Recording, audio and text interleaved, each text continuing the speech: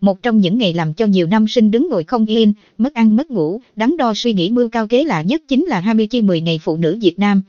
Các chàng cho rằng đã có tâm chuẩn bị điều bất ngờ thì phải bày trò gì đó độc đáo để hội con gái lớp mình còn được nở mày nở mặt với các lớp khác. Qua hồng à, đó là câu chuyện cổ tích ngày xưa rất xưa rồi. Trà sữa à, cũng không còn qua nữa vì con gái bây giờ chỉ lo chuyện giảm cân đã hết cả ngày. Thế nên thay vì tặng những món tiến tưởng đi vào truyền thuyết, năm nay một nhóm nam sinh cấp 3 đã đổi mới chiến thuật và ghi điểm hết sức ngoan một với 27 đôi giày đi ke siêu xịn sò dành tặng các người chơi nữ trong lớp. Ngay khi loạt ảnh được đăng tải, đồng đội mạng không ngần hải bày tỏ sự ngưỡng mộ, các em học sinh cấp 3 bây giờ chơi lớn quá. Món tiến thưởng độc đáo nhất mùa 20 chi 10 năm nay là đây. Ảnh,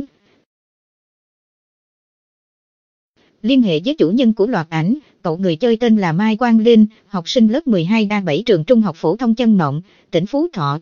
Linh chia sẻ, mọi thứ được chuẩn bị trước đó khoảng gần một tháng, vì ngày 20 tháng 10 vào Chủ nhật nên bọn mình tổ chức sớm một chút cho các người chơi nữ trong lớp. Chúng mình không chỉ muốn gửi tới các người chơi nữ sự bất ngờ mà trong đó còn chứa đựng tình cảm suốt 3 năm học cùng nhau nữa. Được biết vì năm nay là năm cuối cấp nên hội năm sinh lớp 12A7 muốn tổ chức ngày 20 tháng 10 thật sung sướng cho các người chơi nữ và lưu lại những kỷ niệm đáng nhớ nhiều năm về sau. Quang Linh cũng chính là người đã đưa ra ý tưởng cho lần chơi lớn này và do mức chi tiêu khá cao nên các chàng trai cũng có những chuẩn bị cẩn thận từ trước bên cạnh sự cung cấp không bé dại của thầy chủ nhiệm lớp. Có thể xem đây là món tiến thưởng vô cùng ý nghĩa mà các năm sinh dành tặng con gái lớp mình khiến hội chị em lớp khác trầm trầu ngưỡng mộ, thậm chí có phần ghen tị vì con trai lớp người ta chịu chơi quá. Khác hẳn với những món tiến thưởng huyền thoại như hoa hồng, thiệp chúc mừng, gấu bông, thậm chí bóng bay, trà sữa. Các chàng trai đã cất công order những đôi giày đi ke xịn sò, sang chảnh để làm món tiến thưởng đặc biệt trong ngày 20 tháng 10 năm nay cậu người chơi cho hay, mình nghĩ rằng một đôi giày xinh xinh sẽ phù hợp với các người chơi nữ vì nó thực tế và mang giá trị lâu dài. Các người chơi ấy có thể đeo hàng ngày thậm chí cất giữ làm kỷ niệm. Mai sau tuy đã ra trường nhưng mỗi khi họ nhìn thấy nó sẽ nhớ lại năm tháng cấp 3 sung sướng và đặc biệt sẽ nhớ những chàng trai năm ấy. Một sự chuẩn bị vô cùng cẩn thận dành tặng hội chị em. Ảnh, con trai lớp này quả đúng là cẩn thận, tinh tế hết phần lớp khác bởi tất cả mọi người còn chia nhau khám phá si dày của hội chị em, do học cùng học suốt 3 năm cũng hiểu nhau và nắm nắm được một phần tính cách nên cả si lẫn màu sắc của từng người không làm khó được các người chơi ấy. Để có được một mùa 20 chi 10 chiến thắng và ý nghĩa như thế phải kể đến sự đóng góp không bé dài của 14 người chơi nam cũng như thầy chủ nhiệm lớp. Uy phải mất gần một tháng lên kế hoạch và chuẩn bị nhân diệt sơ ung lớp học, trang trí mọi thứ cũng khá nhanh gọn trong dõng dẹn một buổi chiều.